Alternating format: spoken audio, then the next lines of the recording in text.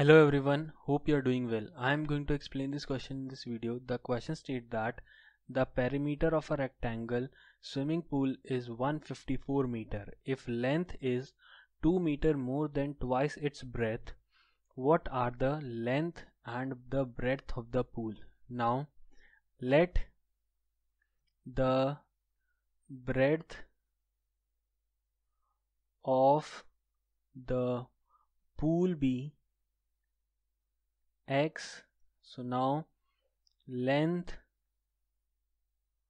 of the pool will be equal to 2x plus 2 so now we know that perimeter of rectangle is equal to 2 into length plus breadth so now यहाँ पे मैं लिख सकता हूँ perimeter of rectangle हमें question में दे रखा है 154 के बराबर।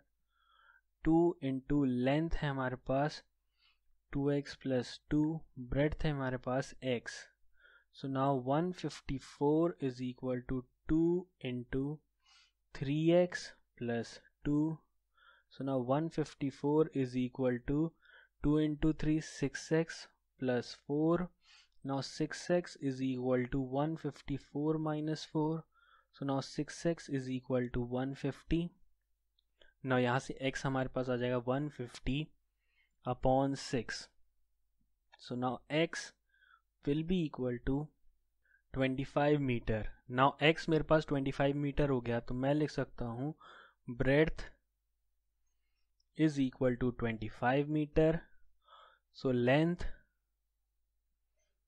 will be equal to 25 into 2 plus 2 which is equal to 52 meter. So now at last we can write hence length and breadth of swimming pool is 52 meter and 25 meter respectively.